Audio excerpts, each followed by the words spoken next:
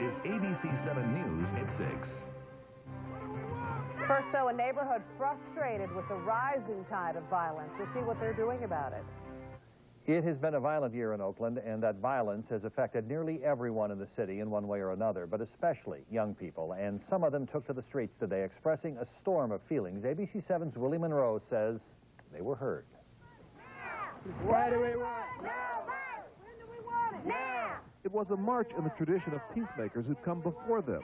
Young people from the East Oakland Youth Development Center finding a way to do something about the violence that's decimating their community. The reason why I'm on this walk is because there's too many people getting killed. 100 homicides, there's too many people getting killed. And people need to know that um, we're serious. There needs, there needs to be no more violence on the streets. Young people who visit the center find a safe place to learn and play. Many have already made the decision to avoid danger. The killings have changed behavior. Or some kids say, you know, I don't go to parties anymore, or I don't hang out, you know, on the corners, or I pick my friends much more carefully because some people have been killed, you know, because their boyfriends are in trouble or, you know, they were wrong place at the wrong time. Some of the marchers have known people who become victims of violence, a neighbor, a relative, a friend and it has some of them thinking about their own safety. I feel bad for people who died, and one, it affects me because now I know if I go out on the street, it's a chance that I might get shot.